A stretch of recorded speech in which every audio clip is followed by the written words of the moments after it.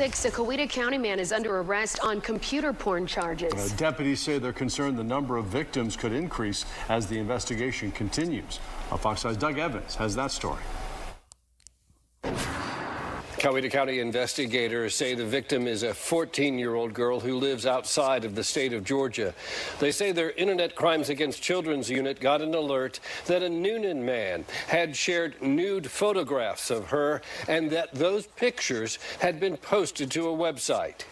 Uh, they executed a search warrant on his residence. They were able to um, collect uh, multiple electronic devices that will all be searched. Under arrest is 36-year-old Jorge Duran Colindres of Newnan. Investigators say he works as a solar panel installer. They say he met the girl online, convinced her to send him sexual pictures of herself. He's accused of sharing those photos with someone else online, and that person posted them to a website. Deputies say the girl and her family found out they'd been posted and contacted authorities.